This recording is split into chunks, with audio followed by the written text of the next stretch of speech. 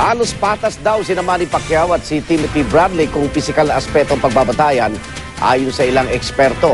E saan naman kaya sila magkakatalo? Alamin sa report ng saksing si Chino Gaston. Isang veterano at kampyong boksingero kontra sa isang mandirigmang ni minsay di pa natatalo. Ito ang labang inaabangan hindi lang ng boxing fans kundi ng mga Pilipino. Ang ating pambansang kamaong si Manny Pacquiao na nga ba ang kauna-unahang magpapatumba kay Timothy Bradley.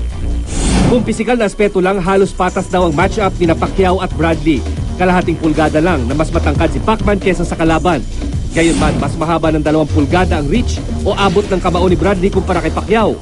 Sa physical aspect, given na yan eh. Kita natin yung training camps ng parehong kampo. Uh, 100% talaga sila. Both camps really want to win this fight. Pagdating sa edad, mas matanda ng limang taon si Pacquiao.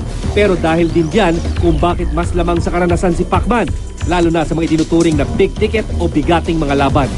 Katunayan, halos doble ang bilang ng mga naipanalo ni Pacquiao sa mga naitalang tagumpay sa ring ni Bradley. Pero si Bradley naman, wala pa kahit isang talo, kaya di raw pwedeng ituring na sacrificial lamb. Nasa utak na ng promoter yan. Ano ang kalaban pwedeng ilaban namin kay Manny Pacquiao na magdadala ng magandang laban, papanoorin ng tao, pero si Manny Pacquiao always should have the edge. Gayunman sa level down ng mga world champion gaya ni Pacquiao at Bradley, minsan tibay ng dibdib at tamang mentalidad daw ang nagiging susi sa tagumpay. Ang tabayanan ngayon kung paano sasabayan ni Bradley ang bilis ni Pacquiao at bigat ng kanyang mga suntok. Sa buong mundo nanonood, the uh, we will expect MGM Grand Arena to be packed for this fight. No, yung makakadala, makaka-handle ng pressure at makaka uh, magiging uh, composed to the whole fight will win this fight.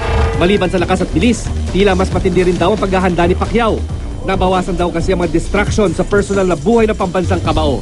Kaya tingin ng isang international boxing referee, posibleng sa ikalima o ika-anim na round bumagsak na raw si Bradley. Sa ensayo niya, focus siya. Tapos, hindi na siya nagpupuyat. Focus na sa pagbabible niya. Hindi, tu- hindi tulad nung dating mga fights niya na lagi siya nagpupuyat. Yun nga lang, dapat daw mag-iingat si Pacman sakaling makapaglabas ng lucky punch o yambang suntok si Bradley.